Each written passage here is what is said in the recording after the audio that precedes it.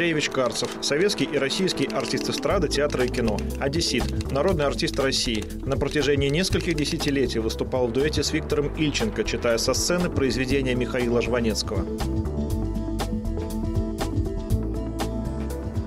В Минске был много раз. А вот в этих сейчас городах, где я буду, я ни разу не был. Бобруйск. То есть я знаю, слышал, но, но почему-то не был. Нас тогда посылали по плану в большие города, и мы могли в Минске сидеть две недели там, скажем. Вот. И сейчас вот я сюда пригласили, с удовольствием поехал. Вообще мне нравятся такие небольшие города. И в Украине я очень люблю такие города – не, не, не, ну, Киев, само собой, очень красивый, там Харьков, большие города есть. А есть такие средненькие, где красивые яблоки, где хорошие сады, хорошие люди. Сейчас такая мода. В России это... Даже если мы проиграли, хвали. Это точно. Так вот Олимпийские игры, все эти крики – играла, играла Норвегия с э, Финляндией в хоккей. И в зале сидела публика и кричала «Россия! Россия!» Этот диктор, который вел, он говорит, ребята, что вы кричите? Здесь нет России. То есть переборщили с патриотизмом. Но это смешно, поэтому какие-то вещи вызывают улыбку. Со времен перестройки – когда начался другой юмор, когда началась другая жизнь, хотя жизнь такая, что материала очень много для юмора. Но наша, я не знаю, как Миша Жванецкий, он, у него буквально сейчас юбилей, э, он благодаря телевидению, у него есть программа на телевидении, как-то он так, а я выпал, потому что ну, мне некуда влезть э, своими смысловыми миниатюрами, монологами некуда. Я не могу влезть в Comedy Club, не могу влезть. Ну, нету, там другое время, другой юмор. Э, и поэтому, поэтому я не смеюсь, мне очень грустно. У меня был вечер недавно, 50 лет на сцене в Ленинграде. Приехали Долина, э, Гришаева, Жванецкий, Гвардстели, Альтов – Света Крючкова, такая компания. Ну, Галкин, пожалуй, самый такой сейчас в юморе, ну, талантливый, я так скажу. Хотя я этот жанр не очень люблю. Я их называю клопами. Они, они же сейчас сплошные эти вот пародии, сплошные. Это клопы, это люди, которые питаются кровью великих артистов. Я их называю клопы. Потому что, ну, спародировать нетрудно. Вот сделать, найти себя, и чтобы тебя пародировали, это, это совсем другое дело.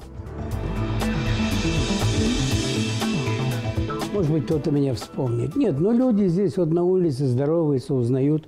Слава Богу, я не могу. Ну, та публика, которая шла со мной и до сих пор идет, и, и в Америке, и в Израиле, и в Германии, она со мной идет. Это я, она, я держусь благодаря этому. Как здоровье спрашивают, как Одесса спрашивают.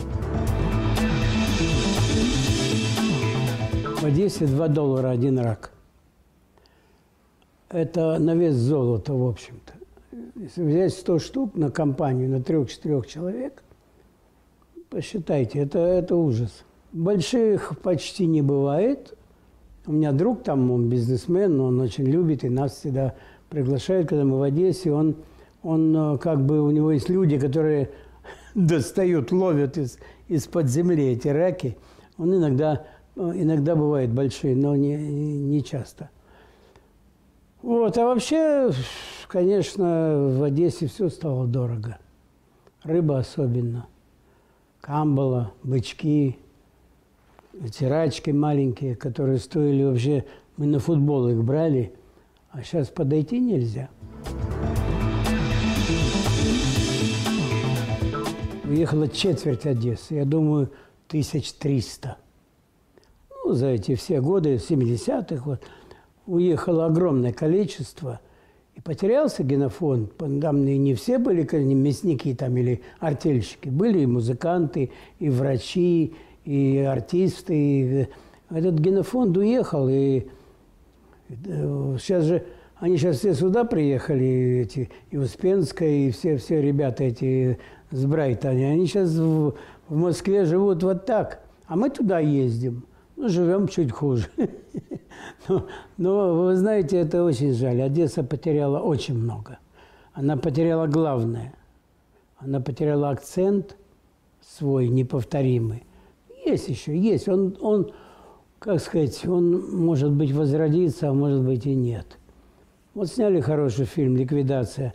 Ну, сам фильм можно говорить по-разному, но Машков сыграл гениально просто, на мой взгляд. И шел еще Мишка Япончик, тоже парень играл потрясающе. Это 20-х годов тот акцент одесский, а это вот послевоенный. Так что какие-то люди там есть, даже не знаю, кто это писал.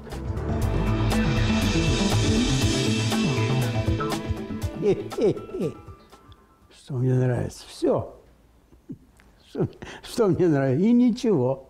По-разному бывает.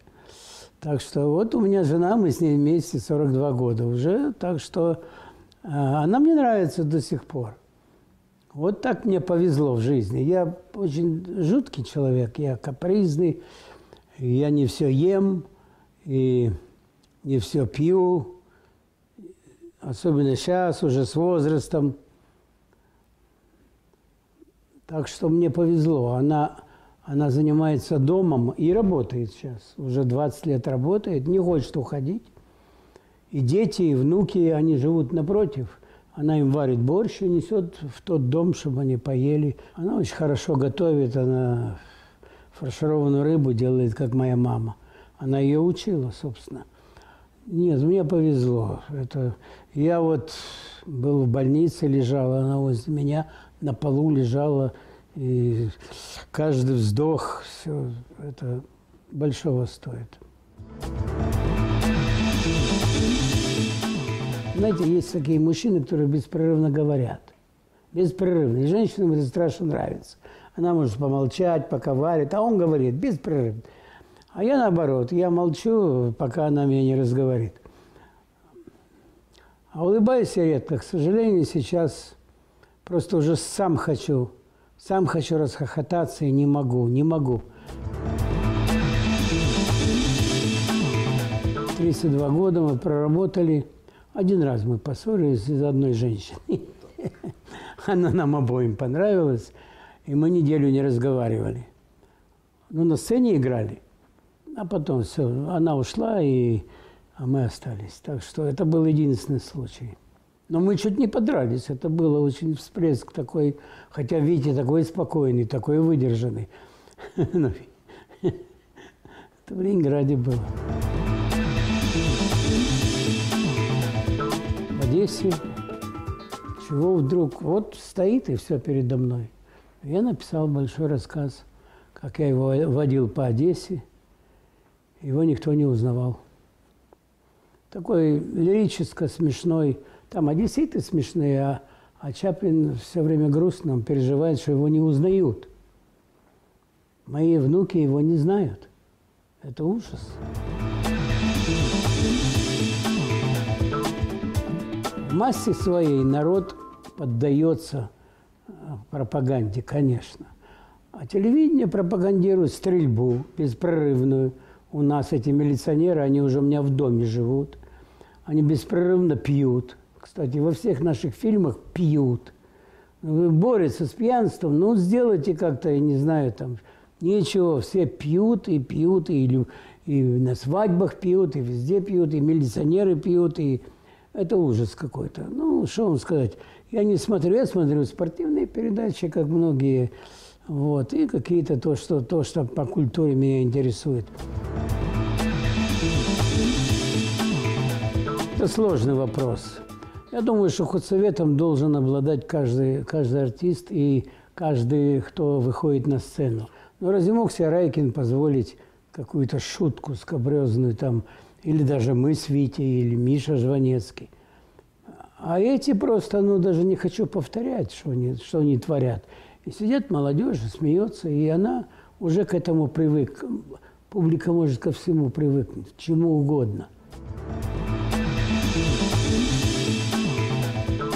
Я не люблю анекдоты, потому что они в массе своей не смешные. Иногда Миша расскажет очень смешной анекдот. Он умеет, э, он э, и запоминает хорошие анекдоты. Никулин э, Юрий Владимирович мог рассказать тебе один анекдот 10 раз, и все равно будешь смеяться. Потому что это талант. Так же, как и анекдот. Анекдот – это перлы, народные перлы. Их очень мало. Был у меня один одессит знакомый, он только анекдотами занимался. Он приезжал в Москву, открывал дверь, анекдот, и начинал рассказывать. Он умер, к сожалению. Он знал, не знаю, тысячу анекдотов. Но он такой смешной был сам по себе. Он такой радостный, хохотал, сам рассказывал и умирал, падал на пол. Смешной. Это очень зависит от человека, что у него внутри. Ну как, мне на Брайтоне встречаюсь, женщина говорит, о! Я говорю, что? Она говорит, ничего. Вот это же не анекдот. Это настоящий анекдот берется в жизни, как, как и настоящее искусство. Меня обозвал Николин как-то, его спросили, кого вы могли бы вот видеть, вот клоуна у нас. Он, давно это было. Он сказал, он назвал мою фамилию. я был очень горд этим. Я со школы еще меня называли и клоун, и паяц, и как только не называли. Я любил смешить публику – и сейчас люблю, но уже гораздо серьезнее.